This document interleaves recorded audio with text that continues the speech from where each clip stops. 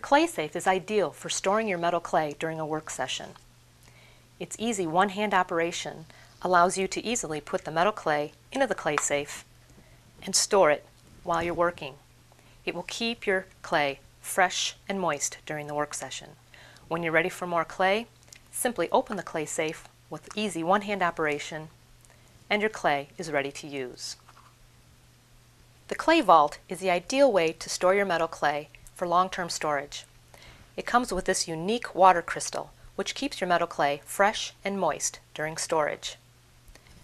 Wrap your metal clay in plastic. Put it in the ClayVault along with the water crystal